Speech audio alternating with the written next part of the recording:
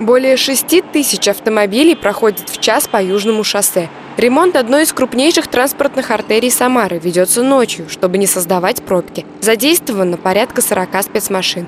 Площадь дороги от Южного моста до выезда из города около 70 тысяч квадратных метров. Большую часть уже освободили от старого покрытия. Почти наполовину уложили нижний слой асфальта. Асфальтобетонная смесь в настоящий момент уплотняется при температуре около 150 градусов. Э, Толщина слоя э, средняя 6 сантиметров, происходит выравнивание, после чего э, будет производиться устройство верхнего слоя из щебеночно-масличного асфальтобетона. Всего на ремонт Южного шоссе из городского и областного бюджетов направлено порядка 100 миллионов рублей. По поручению главы администрации Самары Олега Фурсова работы должны завершиться до конца мая, на две недели раньше заявленного срока. После ремонта территорию вдоль дороги благоустроят. Со временем мы уберем вот киоски, которые находятся на разграничительной линии.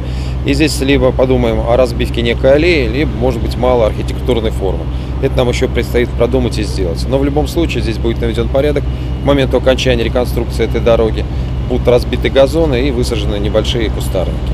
Новый асфальт, утверждает подрядчик, прослужит долго, гарантию дает 5 лет. Качество работы вскоре смогут оценить самарские автомобилисты. Они с нетерпением ждут окончания ремонта. Говорят, новые дороги помогут решить сразу несколько проблем. Во-первых, сберечь ходовую наших самарских водителей, а во-вторых, он а, позволит э, сократить пробки, уменьшить, уменьшить количество пробок в Самаре э, на данном участке дороги.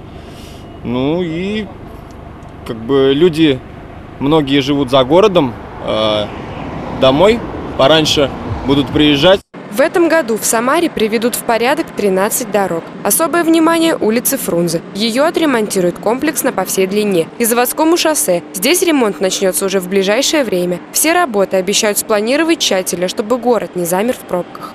Алина Чемерес, Максим Гусев. События.